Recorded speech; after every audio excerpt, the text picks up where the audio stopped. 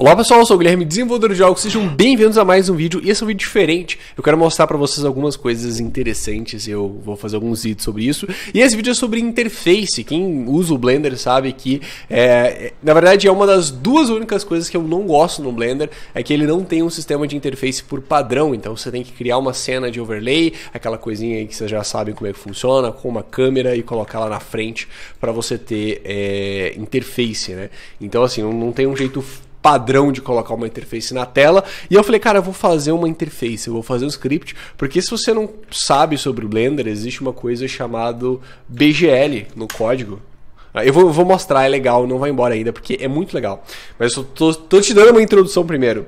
Existe uma biblioteca que chama B, BGL, que é o, é, é o acesso que você tem ao OpenGL dentro do Blender, e você também tem o BLF, que é o, uma forma de renderizar fonte dentro do seu jogo. Ninguém usa isso aqui, mas é super potente, dá para fazer um monte de coisa, obviamente precisa de mais conhecimento. Eu falei, cara, eu vou fazer um, um, um sistema de interface no Blender. E eu comecei a escrever, comecei a codar para fazer uma, uma forma de biblioteca, é bem grande, é, tem muito, muito, muito código aqui. E a grande questão é que ele seria um sistema de interface boladão. Vocês estão vendo aí com uma textura carregada do disco, render to texture, textura é texto, e ele escreveria ali, por exemplo, se eu abrir o standalone player, eu conseguiria ver, ó, olha só, as coisas sendo redimensionadas. Enfim, eu estava fazendo esse sistema uh, e eu queria chamar ele de BGUI, né?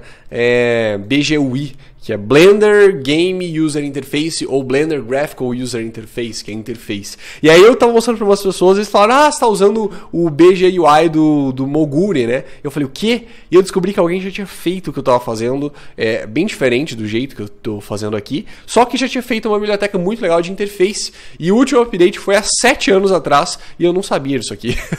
é sério. E é uma biblioteca muito legal.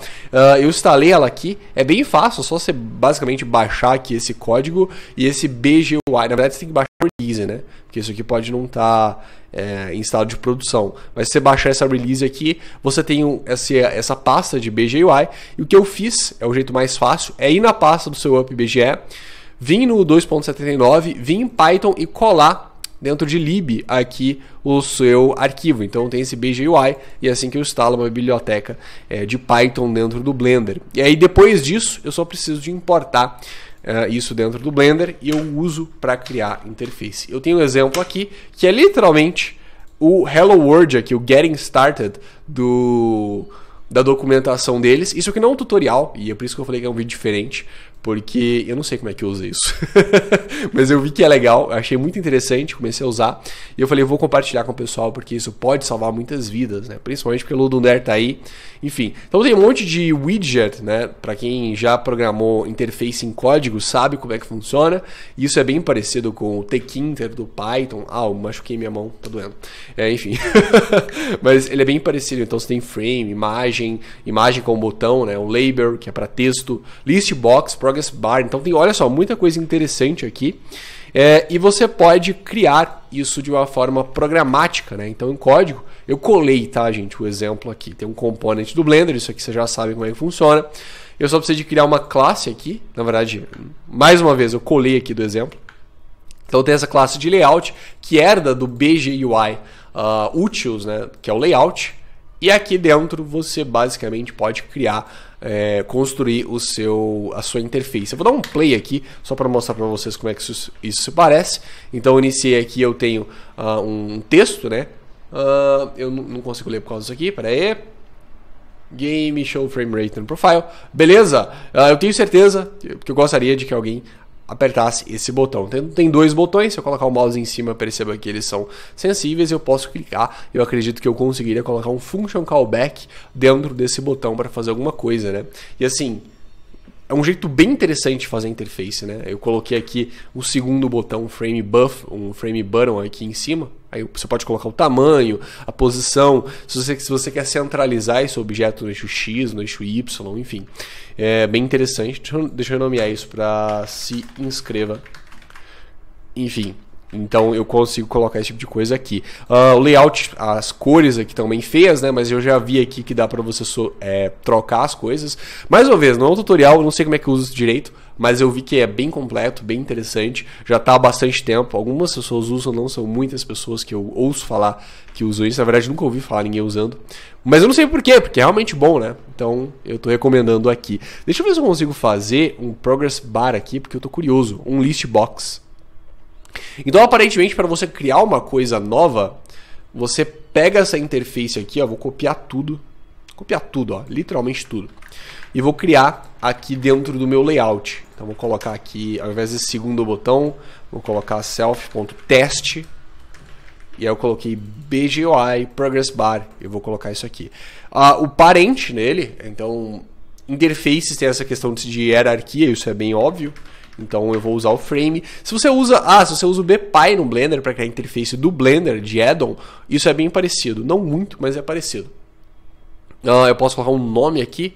Eu não faço ideia do que é isso, é, mas eu acho que eles são padrões aqui, né? Então não preciso de mexer nessas coisas aqui. Por exemplo, nessas opções aqui, sei lá. Eu vou fazer um, ah, aqui é porcentagem, 50%. E eu não vou mexer no aspect, vou mexer no tamanho. Vai, vai assim, vai. Vai ficar legal. Ah, eu posso colocar a opção, ó, centralizado. Gente, estou fazendo isso aqui para testar mesmo. Curioso. Ó, tem uma, uma barra gigantesca aqui. Eu acredito que eu consigo customizar os nomes. Eu provavelmente preciso de alterar o tamanho dela. Então vou colocar 0.1 e 0.1. Acho que vai ficar quadrado, vai ficar feio. Vou colocar a largura 0.4 que é metade, né? Isso é de range 0 a 1. E o Blender ele considera o canto inferior esquerdo como 0 e superior direito da tela como 1. Então tem uma. Não, tá errado. Acho que eu deveria colocar 0.4 aqui. Enfim, é... E pronto, tem uma barra aqui com 50% de vida. Deixa eu poder colocar um callback aqui. Vamos fazer aqui ao vivo. Uh, eu tô aprendendo a mexer ao vivo, tá? Mas eu queria mostrar para vocês, porque é interessante, né? Ah, vou esperar eu aprender isso aqui para fazer o tutorial. O problema é que pode ser que eu aprenda em um minuto, pode ser que eu aprenda em vários, muitos tempos, então é, vocês vão demorar até o tutorial. E eu prefiro trazer isso com tudo mais rápido para vocês. Uh, eu não sei, gente, onde é que eu coloco um function call, um, um callback para isso aqui, para saber se eu apertei esse, esse botão. Não faço ideia. Não, isso é um frame button. Sei lá, mas eu acho que dá para colocar. Deve ter algum exemplo em algum lugar, mas eu obviamente não estou lendo a API, como vocês estão vendo aqui. Uh, eu acho que deve dar para fazer alguma coisa interessante aqui. Aí, ó, já tem um, um callback aqui, ó. On click. Ah, gente, olha que legal. Vou fazer aqui, ó. Eu fazer ele fazer. Não, não vou fazer nada. Tá bom. Tem, tem callback de, de botão e eu consigo colocar esse tipo de interface.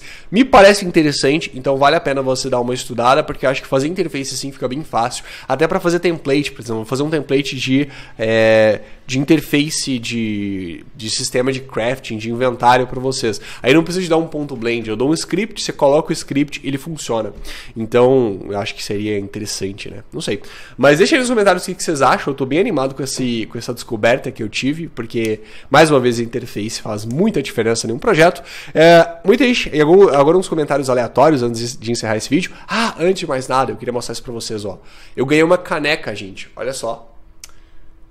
Da Alice, uma inscrita aqui do canal. Muito obrigado e muito obrigado para muita gente que me manda um monte de coisa aqui também. Eu fico muito feliz. Valeu demais, gostei muito da caneca. É, muita gente tem falado, outra coisa, muita gente, muita gente tem falado sobre os vídeos rápidos que eu tô soltando é, ultimamente. Foi mal, eu sei que muita gente odeia vídeo assim, muita gente gosta e prefere vídeo assim. Eu preciso de mutar isso aqui. É, mas eu precisava de, enfim, eu vou falar, fazer um vídeo sobre isso. Não vai, esses vídeos rápidos não vão durar para sempre, tá? Podem ficar tranquilos, eles vão ser só uma fase. Mas eu preciso fazer algumas mudanças no canal. Eu não sei se vocês vão gostar muito dessas mudanças, mas elas são importantes para o futuro, para o longo prazo. Então, é, eu vou fazer um vídeo eu não sei quando ainda, mas vou fazer um vídeo em breve falando sobre isso, tá? Até lá, aproveitem os conteúdos do canal, aproveitem muito, já tem muita coisa legal aqui pronta para vocês. E é basicamente isso, pessoal. Último lembrete, esse final de semana tem Ludum Dare. Então, eu vou abrir aqui para vocês, é só entrar no site lddjam.com bem fácil e se inscrever para você participar. Ludonero é uma competição que você tem 72 horas para criar um jogo do zero, então é bem legal. Comece em um dia, em 6 horas, no momento que tô gravando esse vídeo, e tem a votação de tema, inclusive eu ainda não votei. Olha que legal, não votei no último, mas eu votei nos outros. Ó. Caso vocês estejam curiosos para saber como o que eu acho de cada tema, tá aí, eu vou passar rapidinho aqui, não vou discutir não. Mas é só para lembrar vocês que tem Ludum esse final de semana. Eu provavelmente vou participar e trazer conteúdo para vocês. Então, galera, é basicamente isso. Esse foi o addon, o, não é exatamente o addon, né? O código do Moguri. É um ex-dev, se não me engano, no Blender. Bem interessante. Eu vou esperar trazer mais conteúdos assim, é, mais conteúdos disso aqui para vocês. Um abraço e até o próximo vídeo.